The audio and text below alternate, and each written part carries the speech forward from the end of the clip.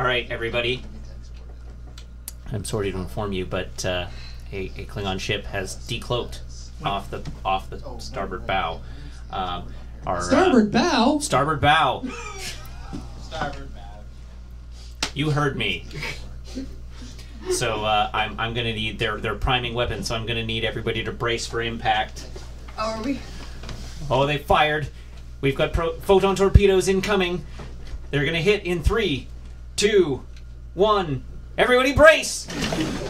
Oh. Whew, that was a All right, tough one. engineering damage report. Ops, what are our shields at? Shields Cori's down. Oh, shields are just down. We're in real trouble then, actually. is our shield. What? How does that? How is starboard bow not? Corey didn't brace for impact bar. I want to know why people are calling me out for starboard bow. That's that's per- it's part of the song. There's Klingons off the starboard bow. Oh, I actually didn't know that. Okay. I, but there's somebody in there who's like, that's not how boats work. And Oh, I'm God. like, no, that, that is exactly how boats work. You're at the front right of the ship. It's the starboard bow. Okay, it looks like there's a coolant leak in engineering.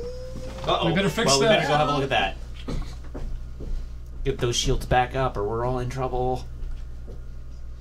Scrape them off, Jim.